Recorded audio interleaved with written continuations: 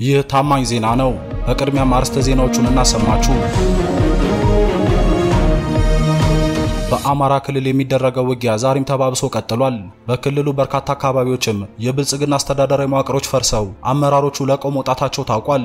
በክልሉ በሚደረጉ ውጊያዎች እስር ቤቶችና የመሳሪያ ግምጃ ቤቶች ተሰብረው እስረኞች ማምለጣቸውና በርካታ መሳሪያዎችም በፋኖ ኃይሎች እጅ መግባቱ ተሰምቷል። የፋኖ ኃይሎች ከከባድ ውጊያ በኋላ ዛሬ ወደ ጎንደር ከተማ የገቡ ሲሆን ጭንቅ ውስጥ የገቡት የከተማ አመራሮችና ካድሬዎች ወደ መከላከያ ካምፕ ሲገቡ ታይተዋል።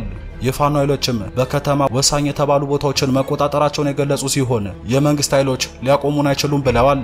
ከውጊያው ጋር በተያያዘ የአድማ ብተናና የሚሊሻ አባላት ሁል ጊዜ የጥይት ማብረጃ አንሆንም በሚል ከመከላከያው ጋር ግጭት ውስጥ መግባታቸው ታውቋል። ዝርዝሩን ይዘናል።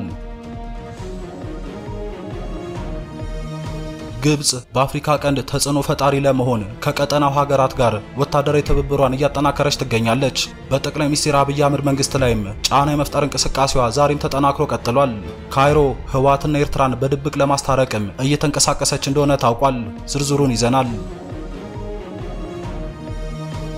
በዶክተር ደብረጽዮን የሚመራው ህወሓት አቶ ጌታቸው ረዳን ጨምሮ የጊዜው አስተዳደር አባላቱ ላይ አነጋጋሪ እርምጃ ወሰደ። ደብረጽዮን አቶ ጌታቸው የአብይ ተላላኪ ሆኖ ሊያጠፋን እየተንቀሳቀሰ ነው፣ ጠቅላይ ሚኒስትር አብይም በጦርነት እያስፈራራ ነው ሲሉ ገልጸው ነበር። ከሚገባ በላይ ሰውን ለማስፈራራት እኛንም ሳይቀር እንዴት እንደዚህ ትላለህ? እኛ እንዴት ለምን አይደለም መብታችን ይጠበቅ ማለት ጦርነት ማወጅ አይደለም። ያቺ ፕሪቶሪያ ስምምነት ይዘን እንታገል ያለው የተባሉትን ታዛዦች ሆኖ ያው ህዝብ የትግራይን ህዝብ አሳልፈው ሰጥተው አስተዳደሩ መምራት መቆየት የሚፈልጉ ሰዎች የሚያካሂዱት ነው ማለት ግንኙነታችን ይሄ ነው። እነሱ ሰላም የሚፈልጉት ግን አሜን ብሎ መገዛትን ነው። የተባሉትን እንዳለ መተግበር ነው። እኛ ግን አንቀበል።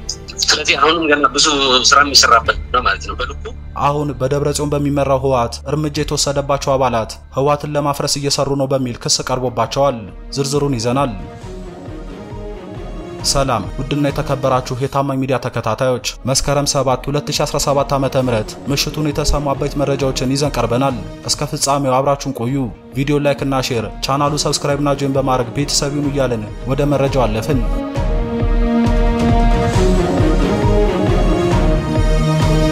በመጀመሪያም የፋኖ ኃይሎች ጎንደር ከተማ ገቡ።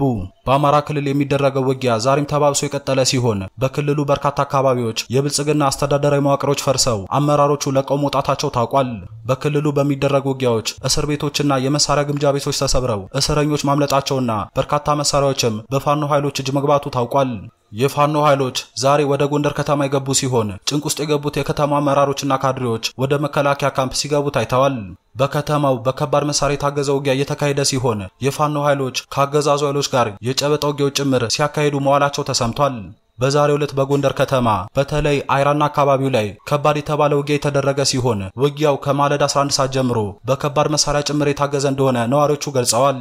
በተለይ በከተማዋ አይራ እንዲሁም ፋሲል ካምፓስ፣ አቡነ ሐራ አማኑኤል፣ ቆሼ ሰፈር ተብሎ እስከሚጠሩት አካባቢዎች የከባድ መሳሪያ ድምፅ በተከታታይ እንደሚሰማና ውጊያ እየተደረገ መሆኑን የከተማዋ ነዋሪዎች ገልጸዋል። በከባድ መሳሪያ የታገዘው ውጊያ ከዩኒቨርሲቲው ባሻገር አዘዞ አካባቢም ጭምር ይሰማል ብለዋል። ከአዘዞ ከተማ ወደ አጣጥ ወደ አይንባ መውጫ ሎዛ ማርያም መስመር አካባቢ ማለዳ ጀምሮ ከፍተኛ የተኩስ ድምፅ ሲሰማ ነበር ተብሏል። አይራ 18 ገንፎ ጉጭ ጨምሮ በርካታ አካባቢዎች የፋኖ ኃይሎች መግባታቸውንና የግንባር ውጊያዎች እየተደረጉ መሆናቸውን ነዋሪዎቹ አክለው ገልጸዋል። ሎዛ ማርያምና ጣጣ አካባቢ የጨበጣ የሚባሉ ውጊያዎች በፋኖ ኃይሎችና በአገዛዙ ወታደሮች መካከል ሲካሄድ መመልከታቸውን የአካባቢው የመረጃ ምንጮች ጠቅሰዋል።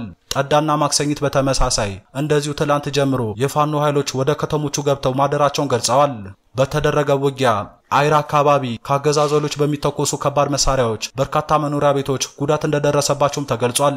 እየተደረገ ያለው ውጊያ ዘገባው እስከተጠናከረበት ሰዓት ድረስ አሁንም የቀጠለ ሲሆን ስለደረሰው ሰብአዊና ቁሳዊ ጉዳት እስካሁን ለማወቅ አልተቻለም።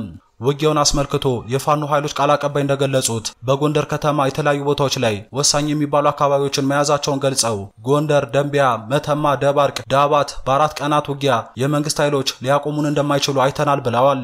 አሁን ከባድ ውጊያ ላይ ስለሆንን ሌላ ጊዜ ተጨማሪ መረጃዎችን በዝርዝር እንገልጻለን ሲሉ ምላሽ ሰጥተዋል። በዚሁ ጎንደር ጃካራንዳ፣ ዞብል እንዲሁም ጉሃ ሆቴል አካባቢ ከባድ መሳሪያዎች በብዛት ተጠምዶ ይገኛሉ የተባለ ሲሆን በእነዚህ አካባቢዎች ግን እስካሁን ውጊያ እንደሌለ ተገልጿል። ትላንት የጎንደር ከተማ የሰላምና ጸጥታ መምሪያ ቢሮ ኃላፊዎች የመከላከያ ሚሊሻ፣ አድማ ብተና እንዲሁም የሰላም አስከባሪ ኃይሎችን ሰብስበው በተጠንቀቅ እንዲቆሙ ማዘዛቸውን መዘገባችን ይታወሳል። በትላንቱ ስብሰባ ላይ በተለይ ዞብል፣ ፋሲል፣ አዘዞ፣ ጠዳ እንዲሁም የማራኪ ክፍለ ከተማ የጸጥታ ኃላፊዎች ተከበናል ያሉ ሲሆን አራቱ መውጫ መስመሮች ስለተያዙ ከላይ አርማጭሆ ስምንት ቀበሌዎች ጋር የከተማውን ጸጥታ ማስተሳሰርና የከተማውን ደህንነት መጠበቅ አለብን የሚል እቅድ አውጥተው እንደነበር የመረጃ ምንጮች ገልጸዋል። በኃላፊዎቹ ግምገማ መሰረት የወገራ መውጫ፣ አዲስ ዘመን መውጫ፣ የመተማ መውጫ፣ የቆላ ድባ መውጫ መስመሮች ስጋት ላይ ወድቀዋል ያሉ ሲሆን ያለን ብቸኛ መስመር ከጎንደር ሁመራ የሚወስደው የአርማጭሆ መንገድ ስለሆነ በዚህ በኩል ካሉ የገጠር ቀበሌ አስተዳደር ማህበራት ጋር የጸጥታ ኃይላችንን እናስተሳስር በማለት ጥይትና ተተኳሽ እናቀርባለን ብለው እንደነበር ተሰምቷል። በሚሊሻ በአድማ ብተናና መከላከያ መካከል የስምሪትና የውጊያ ትዕዛዝ አለመቀበል እና አለመስማማትን ተከትሎ ከፍተኛ የሆነ ውዝግብ ውስጥ ገብተው እንደነበርም ተገልጿል። በዚህም እርምጃ የተወሰደባቸው የአድማ ብተናና የሚሊሻ አባላት እንደሚገኙ የመረጃ ምንጮች አክለው ገልጸዋል። በዚህ ስምሪት ላይ መከላከያ ልዩ ዘመቻና የከባድ መሳሪያ ሽፋን ነው የምሰጠው፣ የግንባር ውጊያዎችን ግን አድማ ብተናና ሚሊሻዎች ማድረግ አለባቸው ማለታቸውንና የአድማ ብተናና የሚሊሻ አባላት ደግሞ ሁል ጊዜ የጥይት ማብረጃ አንሆንም በሚል ይህንን በመቃወማቸው እርምጃ ተወሰደባቸው ሲሉ የመረጃ ምንጮቹ አክለው ገልጸዋል። በጎንደር ቀጠና ባለፉት ሁለት ሳምንታት ብቻ ከ20 በላይ የወረዳና የከተማ አስተዳደሮች ከብልጽግናው አገዛዝ ቁጥጥር ውጭ መሆናቸው ታውቋል። በዚህም የብልጽግና መዋቅር ከእነዚህ ወረዳዎች ሙሉ በሙሉ ለቆ ወጥቷል ተብሏል። ይህን ተከትሎ ዛሬ ከባህር ዳር ወደ ጎንደር ከሌሊት 10 ሰዓት ጀምሮ በርካታ ብረት ለበስና ወታደራዊ ኮንቮዮች ወታደሮችን ጭነው ወደ ጎንደር ሐሙሲት አቅጣጫ ሲንቀሳቀሱ መመልከታቸውን የመረጃ ምንጮች ገልጸዋል። ይህ በእንዲህ እንዳለ በትላንትናው ዕለት የሰሜን ጎንደር ዞን ዋና ከተማ በሆነችው በደባርቅ ውጊያ ሲካሄድ መዋሉና የፋኖ ኃይሎች ወደ ከተማው በመግባት ሲንቀሳቀሱ መታየታቸውን መዘገባችን ይታወሳል።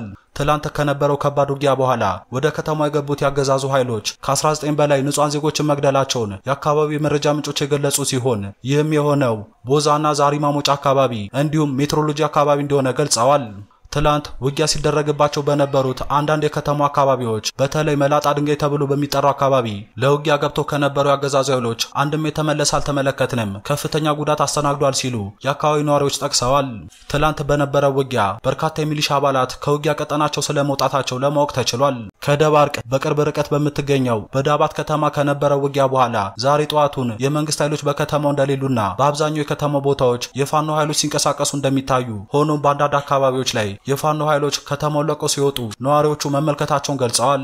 በአሁኑ ሰዓትም በከተማው ምንም አይነት የተኩሱ ድምፅ እንደሌለ የአገዛዙ ኃይሎችም በካምፓቸው ውስጥ ተሰብስበው እንደሚገኙ የተገለጸ ሲሆን ሆኖም አሁንም በከተማው ውጥረት እንዳለ ነዋሪዎቹ ገልጸዋል። ይህ በእንዲህ እንዳለ ትላንት በዳባት እስር ቤቱ ተሰብሮ ከጎንደር ከተማ ጭምር መጥተው የነበሩ ከሶስት መቶ በላይ እስረኞች ማምለጣቸው የታወቀ ሲሆን የመሳሪያ ግምጃ ቤቱም ተሰብሮ ተተኳሾችን ጨምሮ የነፍስ ወከፍና የቡድን መሳሪያዎች በፋኖች እንደተወሰደ ለማወቅ ተችሏል። ከጎንደር መጥተው የታሰሩት እስረኞች አብዛኞቹ ፋኖ ናችሁ በሚል በተለያየ ጊዜ ተጠርጥሮ የተያዙ እንዲሁም ከአድማ ብተና አባላት የፋኖ ደጋፊ ናችሁ በሚል ታስረው የነበሩ ናቸው ተብሏል። ጭንቅ ውስጥ የገቡት የከተማ አመራሮችና ካድሬዎች ትላንት ከሰዓቱን ጀምሮ ወደ መከላከያ ካምፕ ሲገቡ እንደነበር የተገለጸ ሲሆን አሁንም በዚህ ሰዓት በካምፕ ውስጥ ጥበቃ እየተደረገላቸው እንደሆነ ተገልጿል። ትላንት በደባርቅ በነበረው ውጊያ ከፋኖ ጋር አበራችኋል፣ በደንብ አልተዋጋችሁም በሚል በርካታ የአድማ ብተና አባላት በመከላከያ መገደላቸውን ምንጮቹ ገልጸዋል። ይህ በእንዲህ እንዳለ ከዳባት ቅርብ ርቀት ላይ የምትገኘው ገደብዬ ከተማ በፋኖ ኃይሎች እጅ እንደምትገኝ ታውቋል። ወገር አምባ ጊዮርጊስ ላይም ዛሬ ረፋር ላይ ተኩስ የነበረ ሲሆን የፋኖ ኃይሎች ወደ አምባ ጊዮርጊስ ከተማ መግባታቸውን ተከትሎ አብዛኞቹ የአገዛዙ ኃይሎች ካምፓቸውን ጥለው መውጣታቸው ተነግሯል። ሆኖም የተቀሩት የአገዛዙ ኃይሎች በካምፕ ውስጥ ሆነው አልፎ አልፈው ከባድ መሳሪያዎችን እየተኮሱ እንደሆነ የአካባቢው ምንጮች ገልጸዋል። በአሁኑ ሰዓትም አብዛኛው የከተማ አካባቢዎች በፋኖ ኃይሎች ቁጥጥር ስር እንደሚገኝ ታውቋል። በሰሞኑ ጦርነቶች ከጎንደር ከተማ ወደ ተለያዩ የጎንደር ዞኖች የሚያገናኙ መንገዶች ዝግ በመሆናቸው አገዛዙ በተለያዩ አካባቢዎች ለሚገኙ ወታደሮች ስንቅና ትጥቅ እንዲሁም ተጨማሪ ኃይሎችን የሚያጓጉዘው በሄሊኮፕተር እንደሆነ መረጃዎች አመላክተዋል። ይህ በእንዲህ እንዳለ ትላንት በደቡብ ጎንደር ጋይንት ስልጠናቸውን አጠናቋል የተባሉ በርካታ ቁጥር ያላቸው ምልምል አዳዲስ የፋኖ ኃይሎች በኮማንዶ ደረጃ ጭምር መመረቃቸው ተሰምቷል።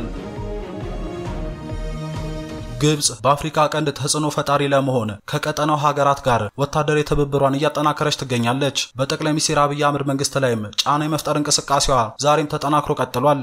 የካይሮ ባለስልጣናት ከሰሞኑ በአስመራ ከፕሬዝዳንት ኢሳያስ አፈወርቂ ጋር የመከሩ ሲሆን ካይሮ ህወሓትና ኤርትራ ማደራደር እንደምፈልግም ገልጻለች። የህወሓት ሊቀመንበር ዶክተር ደብረጽዮን በቅርቡ በሰጡት መግለጫ ላይ የትግራይ ክልልና የኤርትራ ባለስልጣናት ንግግር መጀመራቸውን መግለጻቸው ይታወሳል። ካይሮ ፍላጎቷን የገለጸችው ባለስልጣናቷ ከሰሞኑን በአስመራ ባደረጉት ጉብኝት ወቅት መሆኑን ለጉዳዩ ቅርበት ያላቸው ምንጮች ለዘናሽናል ገልጸዋል። የግብፅ የስለላ ተቋም ኃላፊ ጀነራል ጀማል አባስና የውጭ ጉዳይ ሚኒስቴሩ ባድር አብድላቲ ከኤርትራው ፕሬዝዳንት ኢሳያስ አፈወርቂ ጋር ባለፈው ቅዳሜ ውይይት ማድረጋቸው ይታወሳል። በውይይታቸውም ሁለቱ ሀገራት የወታደራዊ ትብብር ስምምነት ላይ በሚደርሱባቸው ጉዳዮች ላይ ንግግር ማድረጋቸው የተነገረ ሲሆን የቀይ ባህር ደህንነት ማስጠበቅ ላይ መክረዋል ተብሏል። ከዚህ ባሻገር ለአስርተ ዓመታት ግንኙነታቸው ሻከረው የኤርትራ መንግስትና ህዋትን በማቀራረቡ ረገድ ካይሮ ድርሻ እንዲኖራት ጥያቄ ማቅረቧን ምንጮች ለዘናሽናል ገልጸዋል። ጠቅላይ ሚኒስትር አብይ አህመድ ከስድስት ዓመት በፊት ወደ ስልጣን ከመጡ በኋላ ከኤርትራ መንግስት ጋር የነበረውን ግንኙነት ለማለሳለስ በርካታ እርምጃዎችን መውሰዳቸው ይታወቃል። ይሁን እንጂ ለሁለት ዓመታት ከዘለቀው የሰሜን ኢትዮጵያ ጦርነት በኋላ ኤርትራ ከኢትዮጵያ ጋርም ሆነ ከህዋት ጋር ያላት ግንኙነት ቀድሞ ወደነበረበት እየተመለሰ ይመስላል። የህዋት ሊቀመንበር ዶክተር ደብረጽዮን በቅርቡ በሰጡት መግለጫ ግን የህዋትና ኤርትራ መሪዎች ይፋዊ ያልሆነ ውይይት ማካሄዳቸውን ተናግረዋል።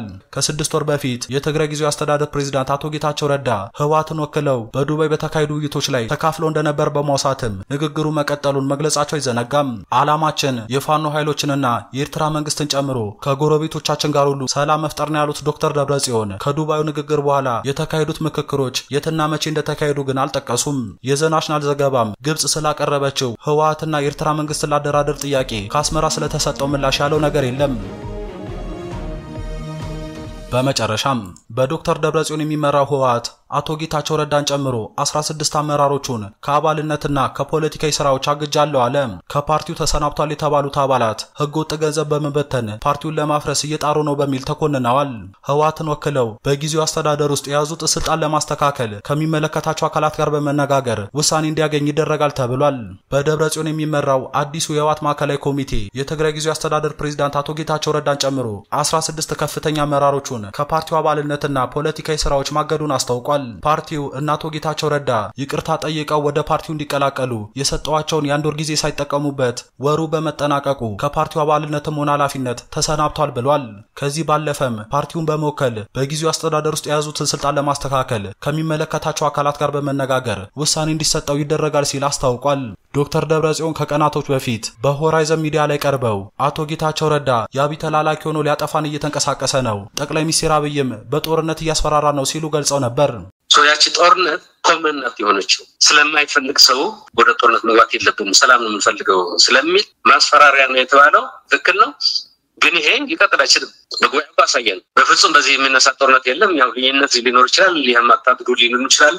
በተግባር አሳየን። እኔም ራሴ ቀጣይ ግን ተነጋገርኩኝ ከፕራይም ሚኒስትሩ እንዴት እንደዚህ ይባላል በሚል መብታችን ይጠበቅ ማለት ጦርነት ማወጅ አይደለም የተባሉትን ታዛዦች ሆኑ ያው ህዝብ የትግራይን ህዝብ አሳልፈው ሰጥተው አስተዳደሩ መምራት መቆየት የሚፈልጉ ሰዎች የሚያካሂዱት ነው ማለት የተባሉትን እንዳለ መተግበር ነው። እኛ ይህን አንቀበል። ባለፈው ዓመት ነሐሴ ወር መጀመሪያ ላይ ህወሓት ባደረገው 14ተኛ ጠቅላላ ጉባኤ ላይ ያልተሳተፉ የጊዜያዊ አስተዳደር ፕሬዝዳንቱ ጨምሮ ከፍተኛ አመራሮቹን በፓርቲው ውስጥ ካላቸው ኃላፊነት እንዳነሳ አስታውቆ ነበር። አዲስ የተቋቋመው ማዕከላዊ ኮሚቴ በሳምንቱ መጨረሻ ቀን አደረግኩት ያለውን ስብሰባ ተከትሎ ባስተላለፋቸው ውሳኔዎች ዙሪያ ባወጣው መግለጫ ከፓርቲው አባልነት የታገዱ ሰዎች ከውስጥ ሆነው ድርጅቱን ለማፍረስ ከሚሰሩ አካላት ጋር እየተመሳጠሩ እየሰሩ ችግር ሲፈጥሩ ነበር ሲል ክስ አቅርቦባቸዋል። በተጨማሪም በፓርቲው ውክልና ያገኙትን የጊዜያዊ አስተዳደሩ ስልጣን በመጠቀምና ህገ ወጥ የሆነ በርካታ ገንዘብ በመበተን በፓርቲው ውስጥ ሆነው ፓርቲውን ለማፍረስና የክልሉን ህዝብ አንድነት ለመበታተን እየሰሩ ነው ሲል ኮንኗል። በዚህ መግለጫው አቶ ጌታቸው ረዳን ጨምሮ ከፓርቲው አባልነት ተሰናብቷል የተባሉት 16 ከፍተኛ ህወሓት አመራሮች ፓርቲውን ወክለው በጊዜው አስተዳደር ውስጥ ውሳኔ መወሰን መብት የላቸውም ብሏል። ላለፉት 50 ዓመታት በላይ የኢትዮጵያ ፖለቲካዊ ማዕከል ሆኖ የቆየው ህወሓት ከፌዴራል መንግስቱ ጋር የገባበት ጦርነት በስምምነት ካጠናቀቀ በኋላ ለምርጫ ቦርድ የህጋዊ ሰውነት ይመለስልኝ ጥያቄ አቅርቦ እንደነበር ይታወሳል። ከፓርቲው ህጋዊ ሰውነት መመለስና ከስልጣን ፍላጎት ጋር በተያያዘ በደብረ ጽዮንና በአቶ ጌታቸው ረዳ መካከል ለሁለት የተከፈለው ፓርቲው ባለፉት ወራት በከፍተኛ ውጥረት ውስጥ እንደሚገኝ ይታወቃል። ክቡራን ተመልካቾች ለአሁን ያዝናቸው መረጃዎች በዚህ አበቁ። ቪዲዮ like እና share፣ ቻናሉ subscribe እና join በማድረግ ቤተሰብ ይሁኑ እያልን ተሰናበትን።